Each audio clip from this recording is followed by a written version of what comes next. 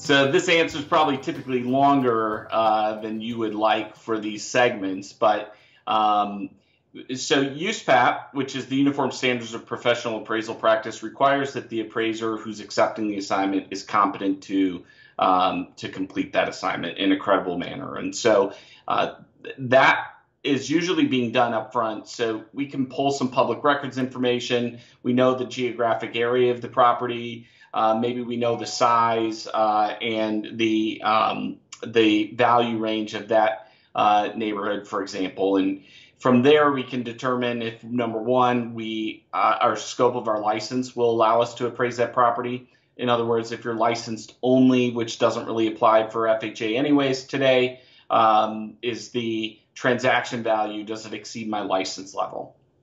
Uh, complexity comes in all forms. Um, complexity isn't just those giant jumbo loans, right, and the giant houses, if you will. Complexity could be a very simple 600 square foot, one bedroom, one bath house, right? If there's an absence of comparables. So the appraiser is going to look up that kind of information and determine if they can proceed. Once they accept the assignment, they're going to continue the research process. Uh, again, trying to identify the relevant property characteristics and what seems credible or not. For example, what's the size of the property? That generally doesn't change. They may see remarks in an MLS listing or public records. Maybe there's a discrepancy, uh, or again, comments that say there's an addition on the house. Now the appraiser is questioning is it truly X square foot or is it X plus Y, right? Um, and so now their research uh, may expand from there.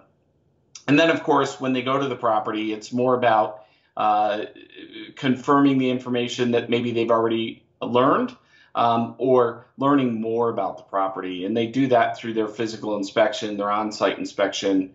Um, and for FHA and HECMs, that means doing things to confirm property acceptability criteria are met uh, under the handbook 4001. So testing, uh, testing is not the right word, but operating uh, a sampling of lights and the water and flushing uh, toilets and um, accessing the attic and crawl space, those kinds of things. That's what the appraiser's doing. All of that is really very small uh, and short in the process. The bulk of the work is done once all of that is completed, and now the appraiser has to put pencil to paper, if you will. Complete that appraisal report on the form, make sure all their uh, I's are dotted and their T's are crossed.